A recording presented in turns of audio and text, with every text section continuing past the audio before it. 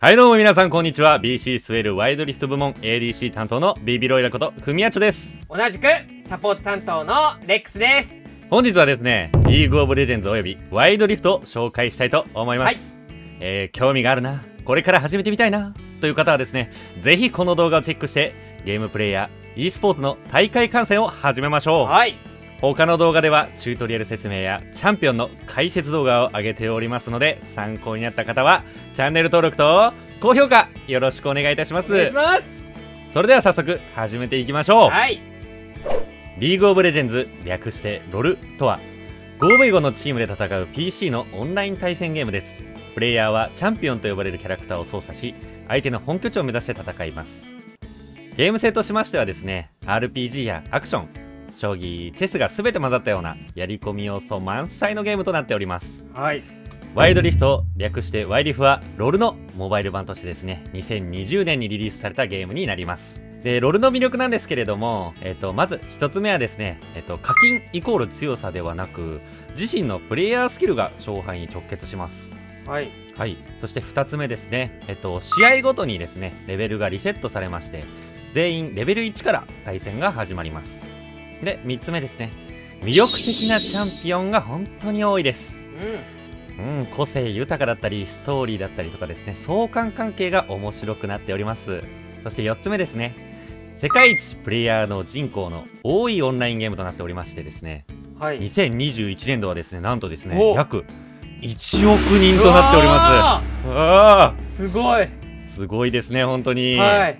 そして5つ目ですねプロシーンがですねもうめちゃくちゃ熱いですと。うん本当にですねまあ地域大会だったりですねまあ世界大会だったりがですね定期的に行われておりますのでそちらもチェックするのが本当に楽しいです。なるほど。そして6つ目えっと試合時間の平均時間がですね約まあ20分からまあ40分ほどとなっておりましてですね、はい。まあ本当に奥が深くてですねうんうん。もうやればやればもうやればやるほどですよ本当に。もう上達が感じられるんですよこれ。あー成長感じられるとありがとうございます。では僕の方からワイドリフトの魅力について紹介したいと思います。よろしくお願いします。はい、えー先ほどビビロイヤルさんが紹介したロールの魅力がワイドリフトはほぼ全て詰まっているとてもよくできたゲームとなっています。本当に面白いです。はい。でなんといってもですねワイルドリフトはモバイルゲームなのでどこでも楽しめます。うん。例えば友達と外や友達の家で遊ぶ時にスマホさえあれば一緒にできるゲームになっています。そしてまあワイルドリフトはロールと比べてゲーム展開がですね早いので試合時間が短く休みの日だけでなく通勤通学の時間やお昼休みに気軽にできます。そうですね。もうはい本当に社会人でもプレイできますもんね、はい。まあうん。平均大体まあ15分から20分くらいと言われていますそしてですねまあこのワイドリフトの方もですねまたプロシーンがこちらも熱いわけでですねうん。今まさに世界大会がやっておりましてまあアイコンズ2022年という大会が開かれてまして、まあ、日本からは、えっと戦国ゲーミングと USG の2チームが出ています。はい。次はロールとワイドリフトの始め方を説明していきます。はい。はいそれではロールの始め方について説明させていただきます。お願いします。はい、えー、概要欄に記載のですねロール公式ホームページからアカウントの作成をよろしくお願いいたします。はいお願いします。そのアカウントの作成後ですねえっとゲームのクライアントのダウンロードとインストールをよろしくお願いいたします。はい。たったこれだけでですね、うん。ロールを始める準備は整いました。あー簡単。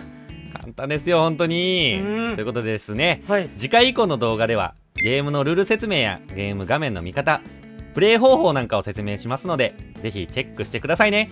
お願いします。よろしくお願いいたします。次に私の方からワイルドリフトの始め方を説明していきます、よろしくお願いいたします。えー、 App Store もしくは Google プレイストアにてワイルドリフトと検索してアプリをダウンロードしましょはい、うダウンロード後はアプリを起動し会員登録をしてゲームにログインしましょログインログイン。うそして Android と iOS によって使用できるアカウントが異なりますので注意してください。注意してください。えー説明させていただきますと Android の場合は GoogleID、Facebook、RiotID の3つ。うん。iOS の場合は AppleID、Facebook、ライアット ID となっています。Facebook イエスはいさあこれでワイドリフトを始める準備は整いました。次回以降の動画では今回説明した動画の次のステップや初心者向けの動画を投稿していきますのでぜひぜひチャンネル登録高評価をして見逃さないようにお願いいたします。お願いします。では次回の動画でお会いしましょう。バイバーイ